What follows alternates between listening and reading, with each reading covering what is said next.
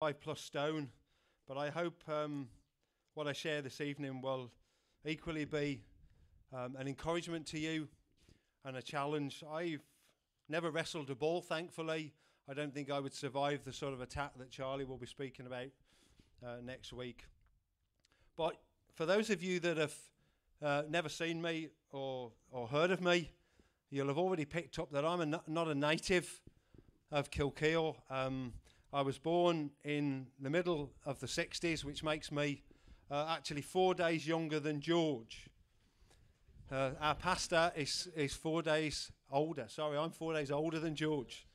Um, but we're both 1965 um, models. And um, I was born over in England in, in Birmingham. And uh, when I look back, uh, born into, you know, traditional family, mother and father, um, brought up um, very well, and you know, from a very young age, was well aware of the the right things that we should seek to do, um, and also aware of the wrong choices that we can sometimes make, and so often our human nature chooses the wrong things. Uh, maybe whether they're more exciting or, or what, I'm not too sure. But the circumstances in our house changed dramatically um, for me at a very young age. Um, vaguely remember the details. When I was age, age seven, there was a knock on, on our door at home one afternoon, and my uncle was at the door with the unfortunate news that my father at age 42 had suffered a massive heart attack where he worked and had passed away. So that just left me and my mom. As I say, I was an only child at that age. Big shock for me, and obviously a, an even bigger shock at that stage for my mother. You know, looking back, I can't remember a huge amount. I can't say how I felt. I can't say even whether I, I really understood at that, that age of seven the, the exact nature as to what had happened and then what would um, come to to be normal in our house from that stage onwards. But I don't think, to be honest, I ever blame God. Quite often, people have um, tragic circumstances, and God is the first person that gets the blame. Well, I can't honestly say that I ever blamed God because at a very young age, um, I had no perception of God, no understanding of God. And I can honestly say, despite an attempt from my mom to send me to Sunday school at a very young age, I remember walking into a Methodist church, and this is nothing, if there's any Methodists in the congregation this evening, this is nothing personal. I remember walking into our local Methodist church and looking around the church building and thinking, this is not for me. And I ran home, and that was my only, my one and only time uh, visiting Sunday school. And other than that, I went back to two weddings of two of my um, cousins. And at the age of 15 in high school, uh, that was the sum total of any church experience um, that I had. There was no influence, uh, Christian influence, in the school that I belonged to. Um, religious education at the school was very general and, and sought to cover every um, possibility that existed. So I can honestly say that my, my knowledge or my uh, expectations of, of God, who He was, um, was, was not founded on anything that I'd ever heard or been taught. So at, at early teenage years, I have to say that all I wanted to do was just fit in with the crowd. Didn't want to be the one that was going to be different in any way, shape, or form. Generally, wherever the crowd went, I was happy to go along with the crowd. Um, and as I look back, the crowd on occasions were maybe involved in things that were good enough, um, past the time of day. But equally, I can honestly say that there were a number of things that that crowd were involved in that when I look back on, I would be uh, disappointed with myself um, and well aware of a number of the, the bad choices that I sought uh, to make. And, and I say that um, because uh, so often when we hear testimonies, within the church, we can honestly look at it from, or now I suppose as a parent, I can look at it. We obviously love to think that we, we do the very best for, for our children and that our children are, in our own minds, little angels. Well, I have to t- say, despite being, you know, directed very well in those young years, a number of the things that I got up to uh, weren't because of things that, that came from home. They were because of the friendship group that I got myself involved in. But there was a big change, another big change ahead of me at 16 years of age. That, that final day in school where the, uh, the books got thrown in the bin and school was finished and work was about to start. Well, that was a big change for me because I remember having left school uh, during the, the summer holidays. Um, I, I got myself um, my first girlfriend, who five years after that became my wife. She's still my wife, thankfully. And um, I started work, and very quickly I lost touch with the friends uh, from school and started to make friendships and acquaintances with the guys at work. And I remember being at my, my girlfriend's house one Sunday afternoon, and the mother asked me what I thought at the time was a very strange question. She says, Are you planning to go to church with Heidi this evening? Well, I had no plans to go back to church. As I say, my church involvement was at seven years of age and two weddings, and really saw nothing there of relevance. Well, she said, quite often if you go to church, they'll feed you. Well, that's maybe not a bad bit of news for a 16 year old. If you get fed quite often, I think you're willing to go places. So, anyway, I decided that I would go along to the church. And it was a very different church to, I think, any of the church buildings in Kilkeel. There were no stained glass windows, there were no pews, there was no um, fancy building, just individual chairs that were laid out in a small room, small hall. But something happened that first night that I found quite strange the man opened up, as Andy did this evening, he said, Let's just open in prayer. And for the first time ever, I heard a man talking to somebody that he knew, somebody that he was well acquainted with, and somebody that he was willing to give the glory and the praise to. The only prayers I had ever heard at 16 years of age were those that were read out from the, the book by the headmaster in the school. And the pronunciation and the wording was always very perfect in those books. But there was no, I, I never felt that there was anything in them. They were just words that were being said. But this man stood at the front of the church and he was speaking to somebody that he knew that he had a relationship with. And that started to get me thinking. So, over the course of a few weeks, I was presented with a message that I had never, ever come across. Having never been to Sunday school, I was never told that God loved me. Having never been to Sunday school, I had never been told that the Lord Jesus Christ loved me enough to leave heaven and to come down and to live upon this earth, ultimately to die upon the cross at Calvary. Now, if you've been brought up with that, then you've become familiar with it. But let me tell you, at 16 years of age, if you've never heard that tremendous news, it rocks your world. It really does grip you and really forces you to, to start to stand up at 16 years of age and to try and work out whether what you're being told for the first time ever is truth. And the realization was also of the fact that, that God had prepared a heaven above that was to be kept for those that trusted in the Lord Jesus Christ. And as we read the book of Revelation, we realize that there will be no sin in heaven. Now, I had heard for the first time, as I say, at 16, about the fact that we had sin within our lives. I've already talked about the, the friendship group that I was involved in. I didn't need any convincing that there was sin in my life. I was very clear with some of the things that I'd been involved in that, that, that I had sin in my life. And that if heaven was real and God was real, that He had every right to basically refuse me entry into heaven, and that troubled me. So within a few weeks of starting to go along to the church, I was asked if I wanted to go on a, a holiday with the young people from the church. Um, and a minibus was hired, and they headed away, and there was a spare seat for me uh, on the minibus uh, to go to the Isle of Wight. So I spent a week with people just from the church. I had never had a friendship group um, that was like that to start with.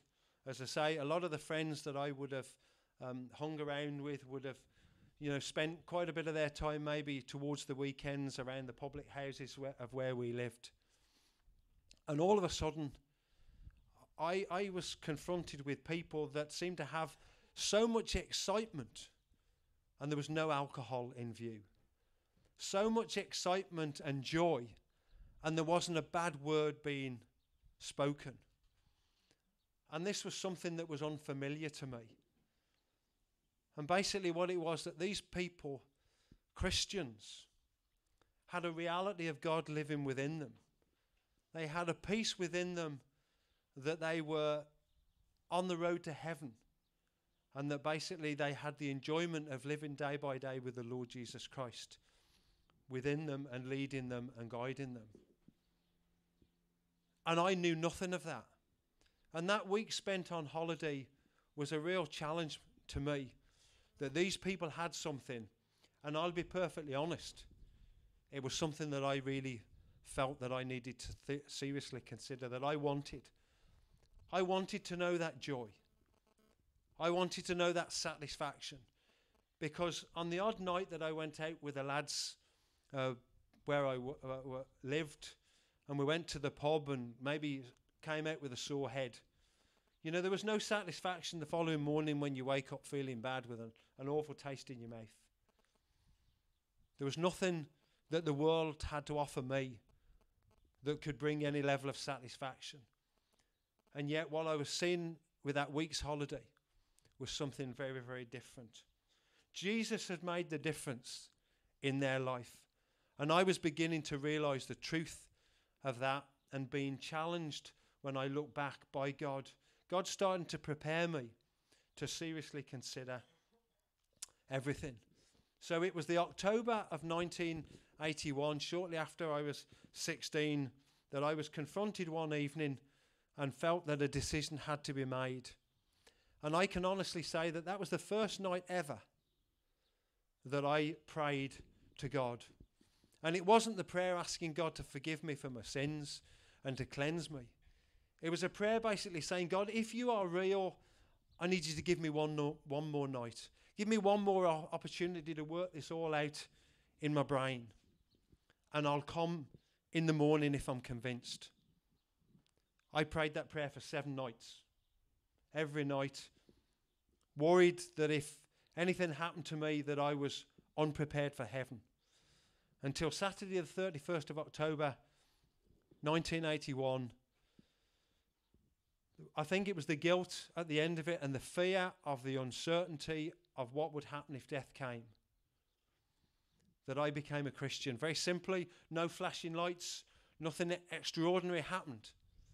But I simply acknowledged the sin that was in me and realized and called out for the Lord to forgive me for my sin and to come into my, into my life and basically to take control and to take charge of my life. And on that Saturday morning, he entered in and he saved me. No massive changes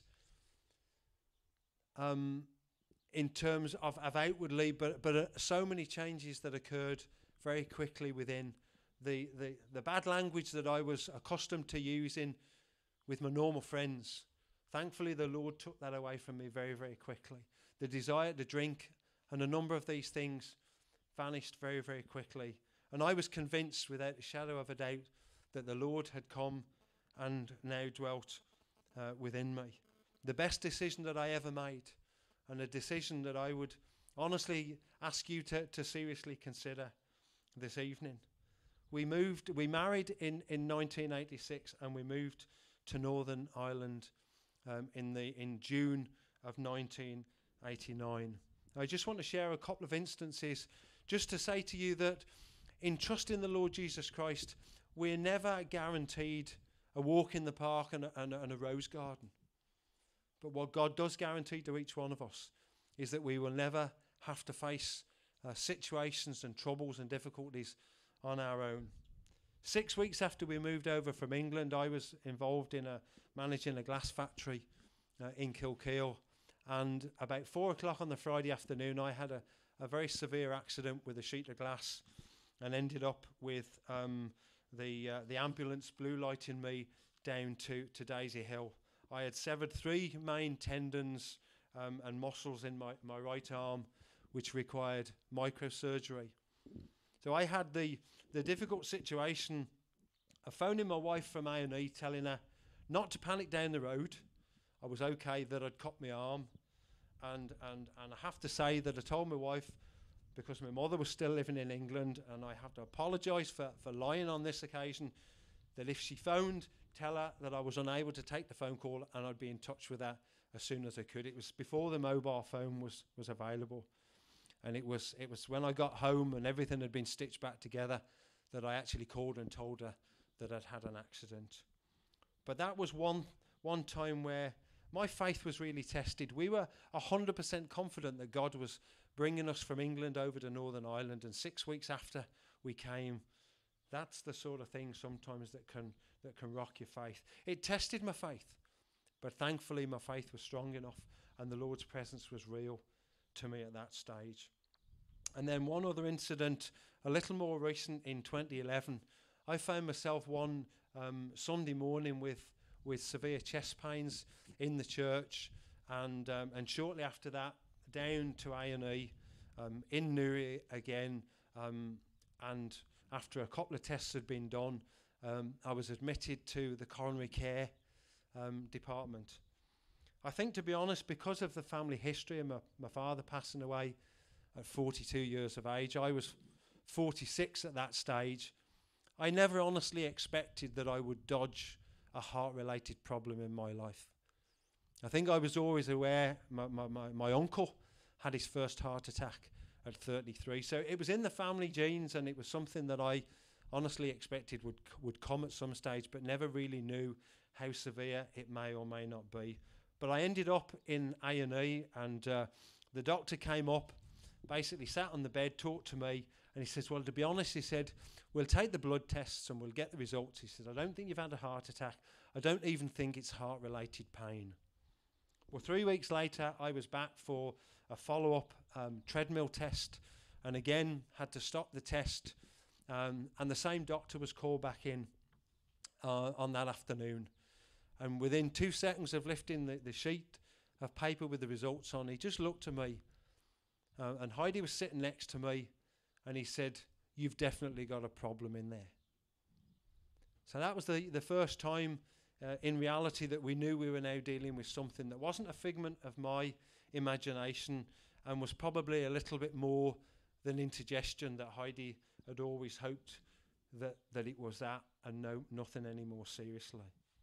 But a week in hospital and I got transferred up to um, Craigavon to the um, the cath lab for an angiogram. Well, I just want to close with this thought. The first night in hospital, wife at home and two children, um, and the reality that there's something wrong in here. Two o'clock in the morning, and I was wrestling in prayer with God. It was too late for me to turn around to God and say, Look, I know I've been eating the wrong food maybe for a few years, and I know I'm maybe carrying a bit too much weight, and the waistline's a bit too big.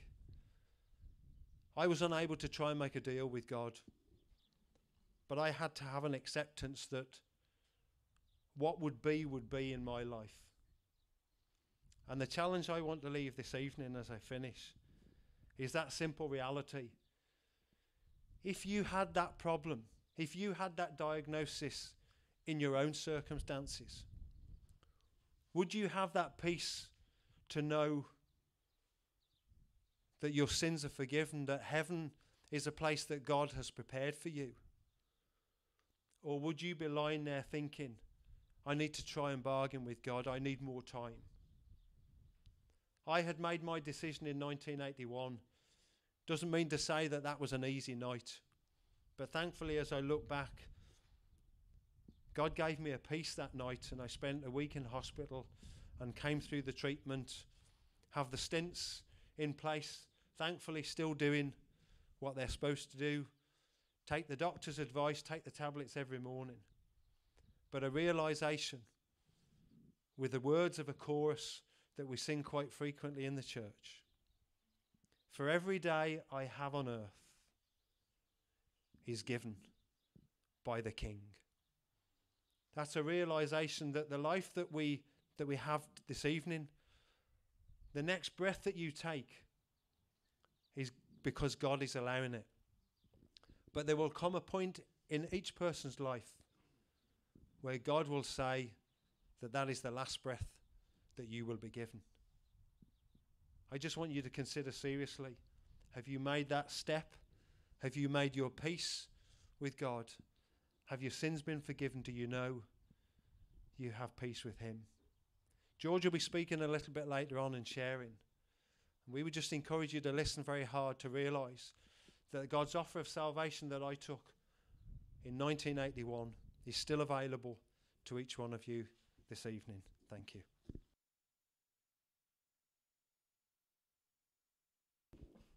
Thank you, Glyn. You know that there's two types of people, or three types of people in here tonight, um, and you're all very welcome. One has a testimony. That's a person who's trusted the Lord Jesus as their Saviour.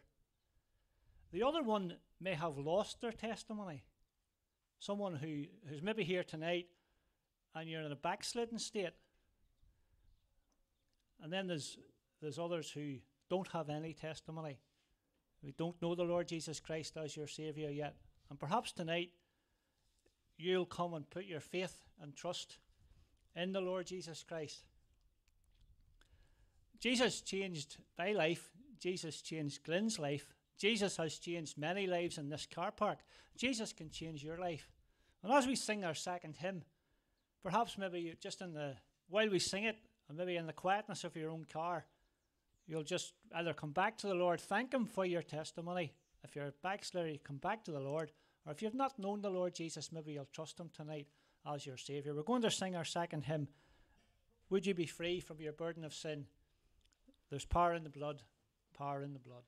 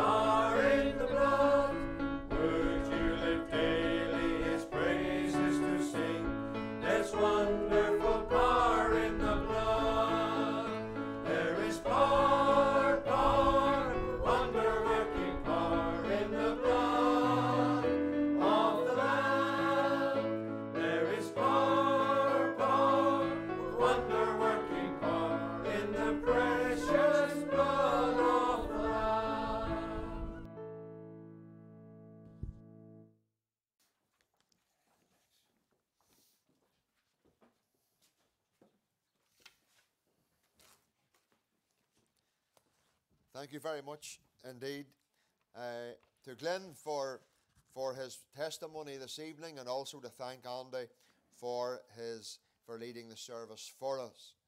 Now, if you have a copy of God's Word with you in your car tonight, we're turning to the Acts of the Apostles, chapter number 16. The Acts of the Apostles, please, chapter number 16. And we're coming to a very familiar portion of the Word of God tonight. It's coming to the conversion of the Philippian jailer. And we begin a story this evening in Acts 16 and verse 23. And when they had laid many stripes upon them, that's upon Paul and Silas, they cast them into prison, charging the jailer to keep them safely. Who, having received such a charge, thrust them into the inner prison and made their feet fast in the stocks. And at midnight, Paul and Silas prayed and sang praises unto God, and the prisoners heard them. And suddenly there was a great earthquake, and so that the foundations of the prison were shaken, and immediately all the doors were open, and every one's bands were loosed. And the keeper of the prison, awaking out of his sleep and seeing the prison doors open, he drew out his sword and would have killed himself, supposing that the prisoners had fled. But Paul cried with a loud voice, saying, Do thyself no harm, for we are all here. And then he called for a light and sprang in and came trembling and fell down before Paul and Silas and brought them out and said, Sirs, what must I do to be saved? And they said, Believe on the Lord Jesus Christ, and thou shalt be saved, and thy house. And they spake unto him the word of the Lord and to all that were in his house.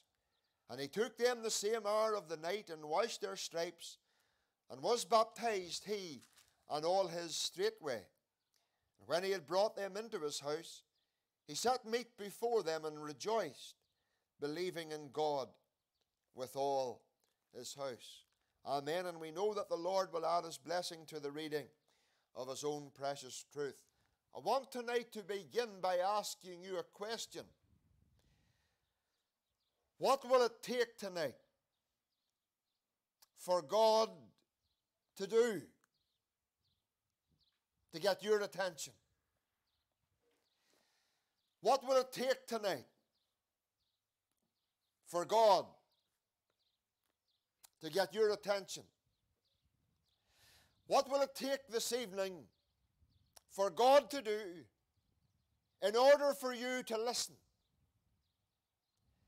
Because you know, friends, sometimes God has to do terrible things to get our attention. The reason for that is that God is not willing that any should perish, but that all should come to repentance. Yesterday evening, I just asked myself this question I wonder did William Dunlop, before he got on that motorcycle, I wonder did he think, I wonder did he consider that if he was to be killed in that practice race, where will he be in eternity? Young lad of 32. And I wonder when he got on the bike yesterday.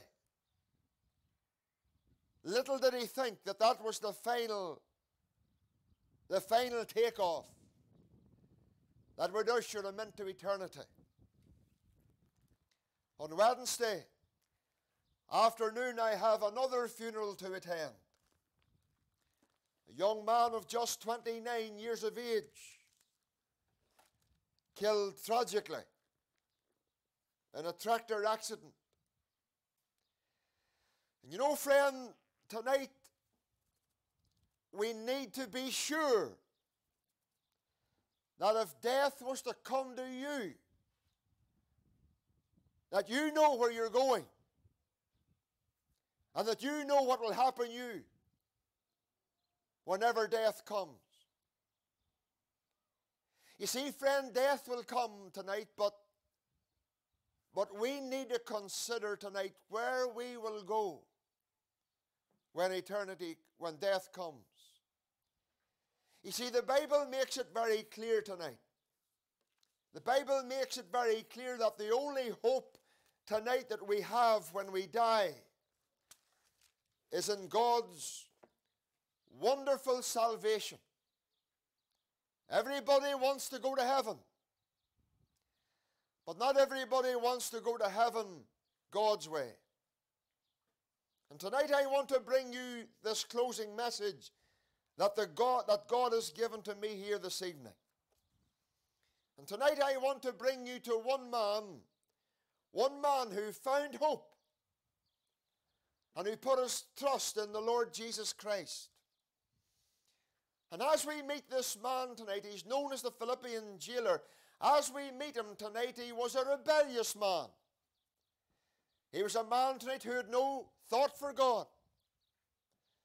He had no thought or concern for his own soul. And here's a man tonight who, who lived the way so many live today. No thought for God. No thought for the gospel. No thought for the very servants of God. Do you know what I've discovered? That many people are like him tonight who go through life with no concern. My friend, tonight you need to be concerned. You need tonight to be concerned about your soul. You need to be concerned tonight about the moment when you will stand before God. There's no getting away from it. There's no escaping it. There's no getting out of it. The Bible says we all must stand before God.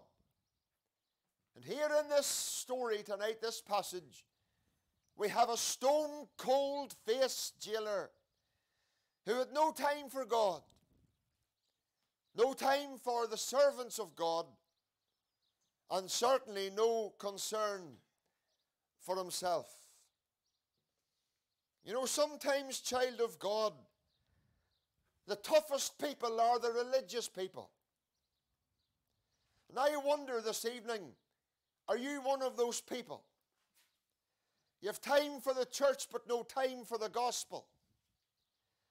You have respect for the clergy, but no thought for your soul. And there's many in the kingdom of Mourne like that tonight. Time for church, but no time for the cross. Time for the clergy, but no time for Christ. And here's this man tonight.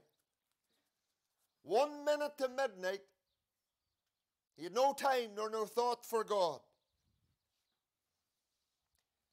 You know, friend, this evening, here's a rebellious man tonight. Here's a man tonight, like so many. But you know, friend, God took a dealing with this man. Because what we read in that passage was that God sent an earthquake. And there's nobody tonight too hard that the Lord cannot bend and the Lord cannot break. As I have said, God sometimes has to do terrible things to get our attention. Because God doesn't want you to perish tonight. God loves you in spite of our sins, in spite of the lives that we live. God loves us. An old preacher of a bygone day called Billy Sunday once said, God can use many things to melt our hearts. God can use many things to bend us. And sometimes God even has to put a coffin on our backs in order to get us to bend. I don't know how many times God had to do terrible things to people to get people to listen. In the book of Job, chapter 9, verse 4, we read these words Who hath hardened himself against the Almighty and hath prospered? And tonight, my dear friend, some of us are saved the hard way. You're here tonight, you know the gospel. You know the gospel inside out.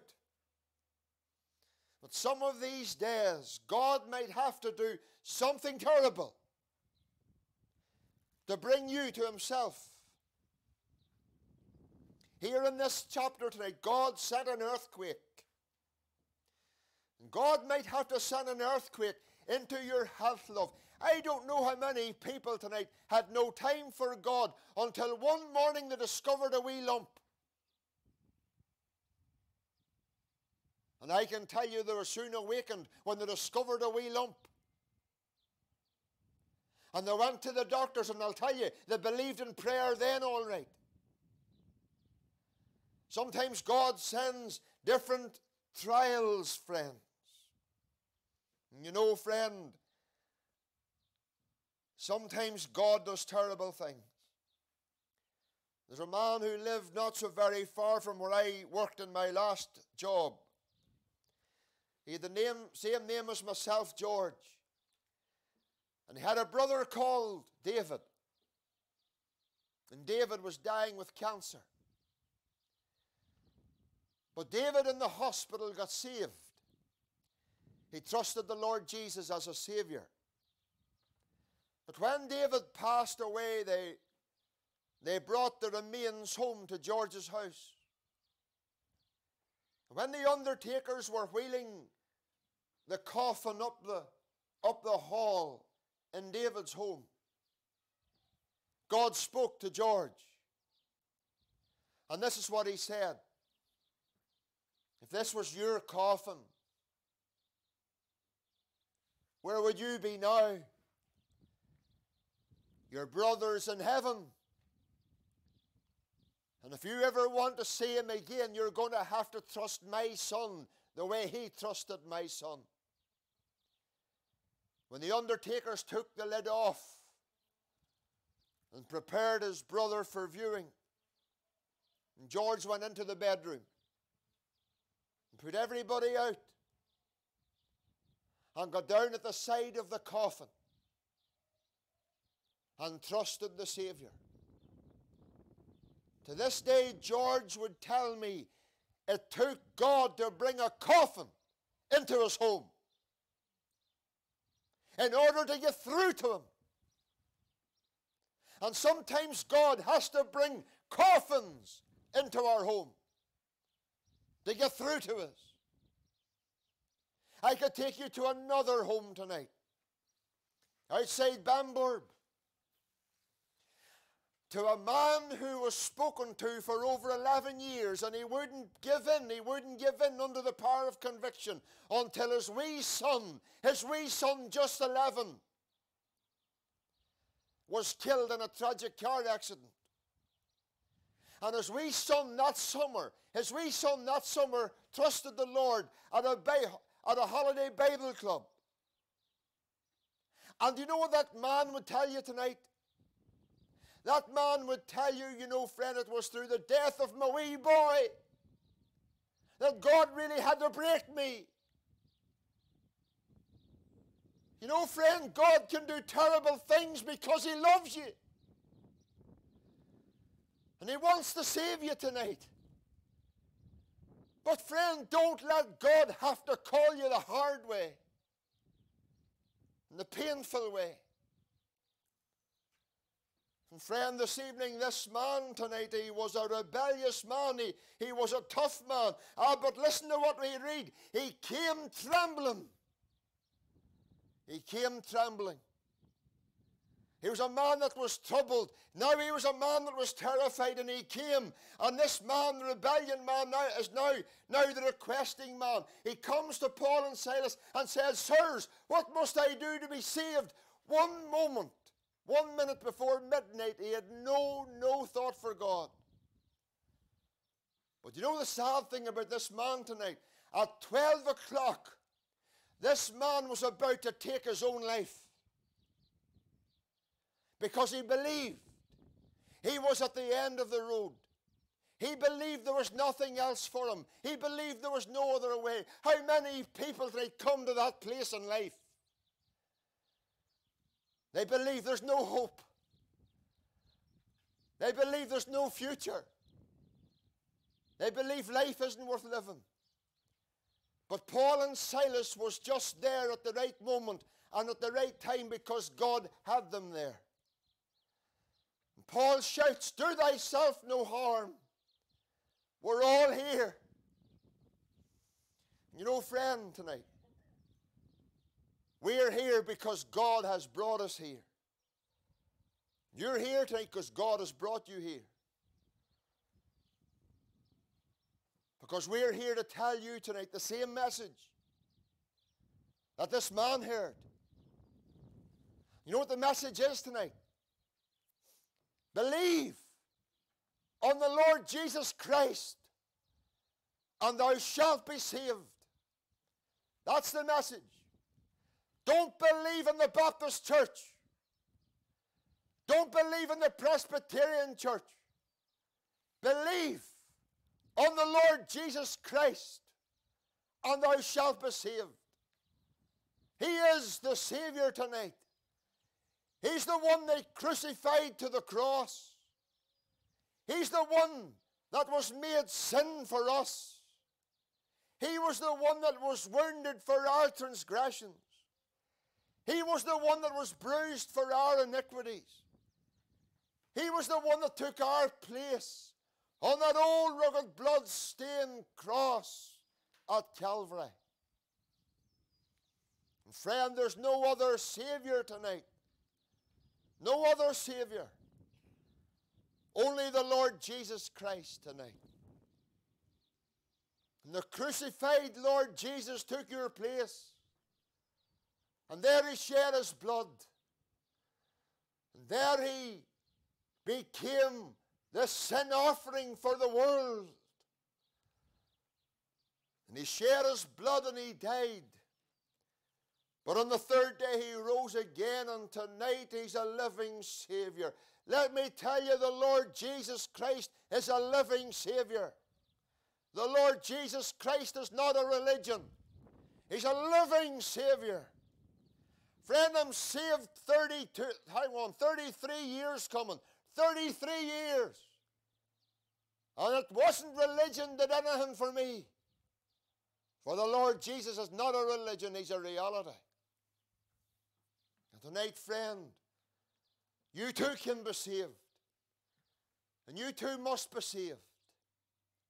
Because neither is there salvation in any other. For there's none other name under heaven given amongst men whereby, whereby ye must you must be saved. And you know, friend, this, this requesting man now becomes a receiving man.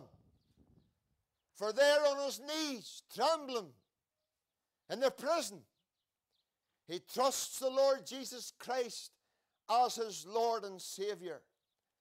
And friend, that's what you have to do tonight. Friend, you have to trust the Savior you have to come to Him just the way you are. And praise God, you can come. And there's room at the cross for you tonight. And you can come to Him. You can come just the way I came. I came to Jesus as I was, not in a shirt and tie. I came in an old khaki jumper and a pair of jeans on me and a pair of Dr. Martin boots. I came, that's the way I came. I came to Jesus as I was, weary, worn, and sad, but I found in him a resting place, and he has made me glad. But, friend, tonight you have to believe on the Lord Jesus Christ to be saved tonight. And here's one truth you have to believe before you believe anything. You have to believe that you're a sinner. You have to believe that you're lost. Because, friend, tonight, unless you believe that you're lost, you'll never be found. And tonight I want you to know that the Bible says we all have sinned and have come short of the glory of God. But Christ died for you and Christ died for me to save you tonight and to save me from our sin and from a Christless hell. But I want to finish this story tonight and I want to finish God's message. This rebellious man became the requesting man who became the receiving man. Ah, but glory to God, he, he became the rejoicing man. Friend, this man was rejoicing because of what Christ did for him. It tells us there in the story, he rejoiced with all his house. He wasn't going about moping and gloping. Do you know some Christians disappoint me when you see them going about with faces like a Lurgan spade? I'm glad I'm saved. I can tell you the Lord Jesus, man, He'll put a smile in your face you never had before. He'll put a song in your heart you never had before. And that's the joy that Jesus brings. Do you know what I can say tonight? I tried the broken cistern, but all the waters failed. And even as I stoop to drink, they mock me as I will. But none but Christ can satisfy. None other name for me. There's love and there's life and there's lasting joy. Lord Jesus, found in thee. And you know, friend, like you can have this peace. You can have this joy. You can have this life that has a capital L. Ah, but friend, if you'd only come tonight, come. But be careful. Be careful.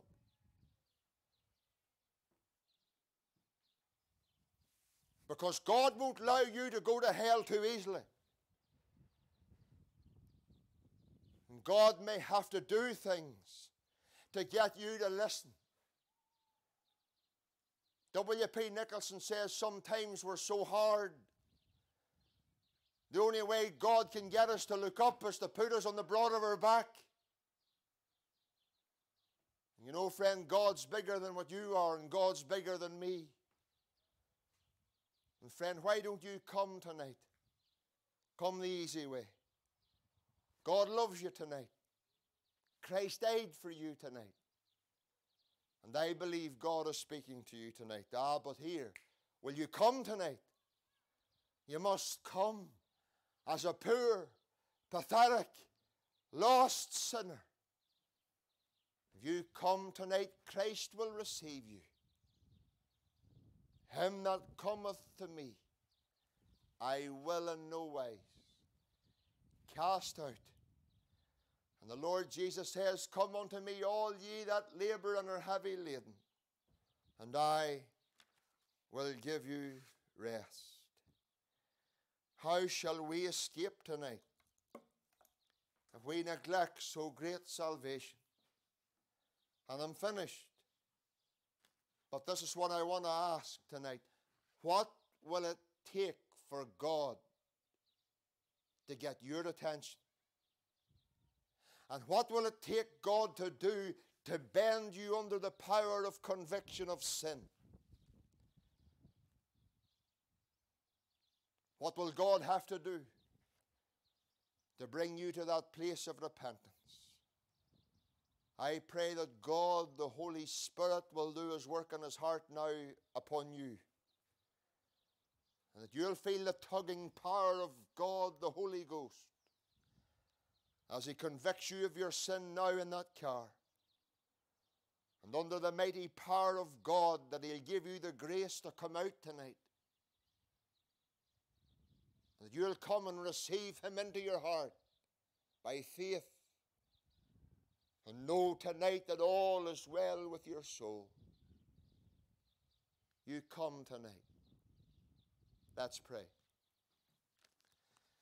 O God, our Heavenly Father, in the precious name of the Lord Jesus Christ, I leave the eternal issues now of this service to Thee. I'm praying, O God, tonight, that Thou wilt do that work in the heart and in the soul and in the conscience and in the mind that needs to be done. And Lord, in wrath, you will you will remember mercy and give deciding grace, we pray, in our Saviour's name. Amen. We're going to close with the final hymn on the hymn sheet tonight. Sinner, or, yes, uh, sinner, how, how thy heart is troubled. God is coming, He's coming very near. And do not hide thy deep emo- emotion. Do not check that, that falling tear. Friend, don't. You come tonight now. Come. Oh, be saved. His grace is free. Oh, be saved. He died for thee. And after we sing this hymn, we're going to have one more prayer. And then we'll head for home, please. Number three on the hymn sheet. Thank you.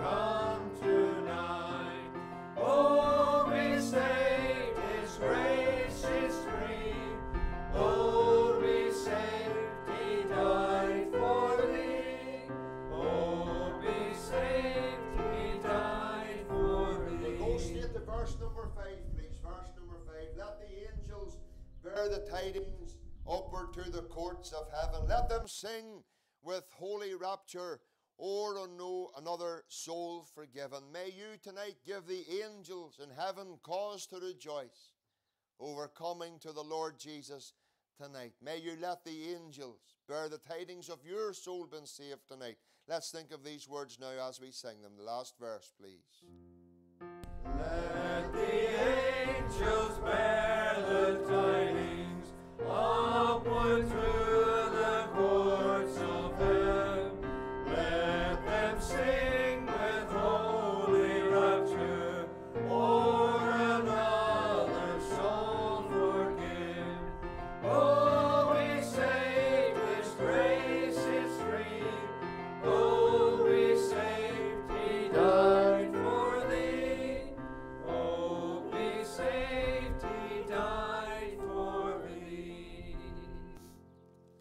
Is simply that tonight. Oh, be saved. He died for thee. You're, you have no excuse tonight. All has been done. And I pray tonight, earnestly pray, under the providence of God and the power of God, the Holy Spirit, that tonight He will give you that grace to believe and that grace to come. And don't leave it till tomorrow. For none of us are to boast of tomorrow. For nobody knows what tomorrow may bring forth for anybody. And that's why the Bible says, Behold, now is the accepted time. Behold, now is the time of the day of salvation. And I'm here to help you in any way I can. And please come and speak with us. We're not here to force you into anything. But if we can be of any help, please feel free to come. Lord, tonight we know that you've been speaking, Lord. And for those who have heard thy voice tonight, give them grace tonight to believe and to receive. And may this very blockyard on this very night be the birthplace for some poor lost soul tonight.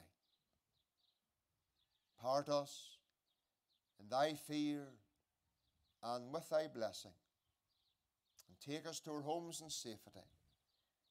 And for any tonight who would like to speak, give them the grace to do so. We commend ourselves into thy care and into thy keeping in our wonderful Saviour's name. Amen. I want to thank you all so much indeed tonight for coming along. It's lovely to see you and it's been lovely to have you tonight. Remember, we're here next week. It's a testimony you do not want to miss. And uh, so please do come uh, here, same time, same place next week. We'll be glad to see you, glad to have you again. And we trust you'll have a blessed week ahead. And if there's anybody would like to speak to us, please come and, and talk to us. If you have something on your heart, don't be afraid to come. So, everyone, God bless, safe home, and we trust that you'll have a blessed evening for whatever's